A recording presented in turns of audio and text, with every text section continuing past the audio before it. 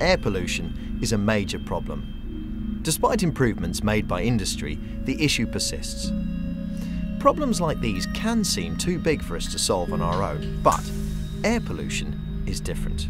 Our homes are full of chemicals, glues, perfumes, paint, that bottle of deodorant that smells like the 1970s, and countless other domestic products. Take a simple air freshener. Now that contains chemicals with a very low boiling point. So as it evaporates, it turns from a small amount of liquid to a large volume of gas. And this is how volatile organic compounds are made, or VOCs. Once in the atmosphere, the tiny amount our home contributes is multiplied by everyone else's. Sunlight is added to the mix, and we're left with a dangerous side product smog. No one likes smog. When it comes to air pollution, individual action is vital.